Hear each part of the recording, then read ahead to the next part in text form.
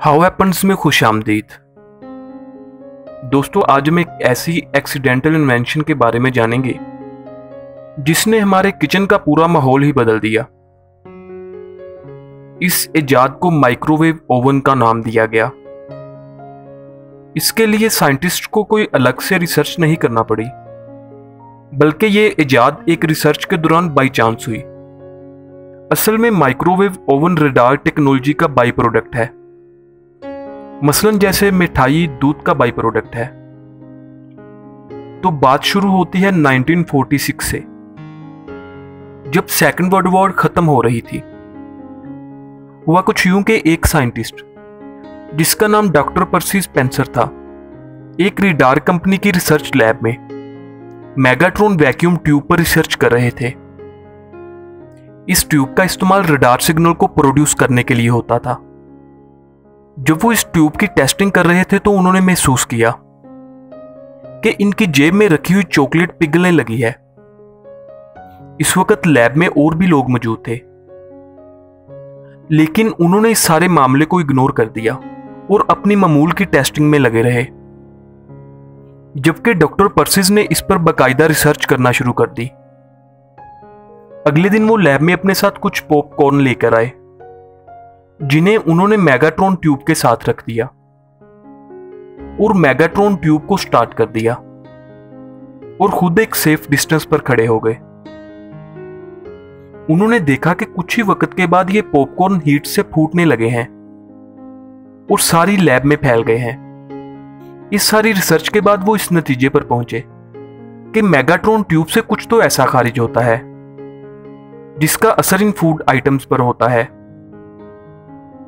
दोस्तों, doctor persists ने यह सारा मामला अपने कुलीग के साथ शेयर किया और अगले ही दिन उन्होंने सेम इसी तरीके से अपने सब कलीग्स के सामने अंडा उबालने का एक कामयाब तजर्बा भी किया। दोस्तों, डॉक्टर परसिस ने इस पर मजीद रिसर्च की और रिसर्च के दौरान उन्हें पता चला कि माइक्रोवेव के वेव्स का इफ़ेक्ट फ़ूड के मालिक्यूल्स पर होता है। इस वजह से फ़ूड के मालिक्यूल्स गर्म हो जाते हैं। और हीट प्रोड्यूस करते हैं।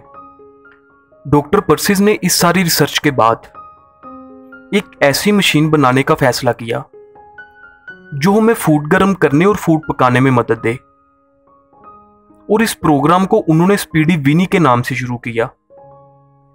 बाद में इस नाम को बदलकर माइक्रोवेव ओवन कर दिया गया।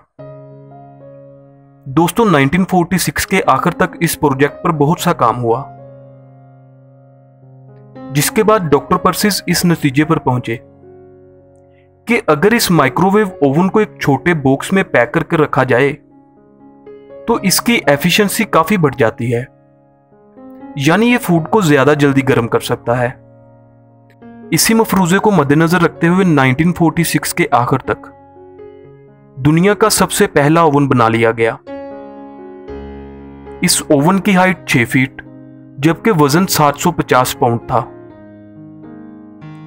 इस ओवन को एक रेस्टोरेंट में रखा गया, जहाँ पर इसका इस्तेमाल खाना बनाने और खाना गर्म करने के लिए होता था। दोस्तों, माइक्रोवेव ओवन की इस कामयाबी के बाद इसे पेटेंट करवाया गया। 1947 में माइक्रोवेव ओवन का पहला कमर्शियल वर्जन बनाया गया, जिसको रेड रेंज का नाम दिया गया।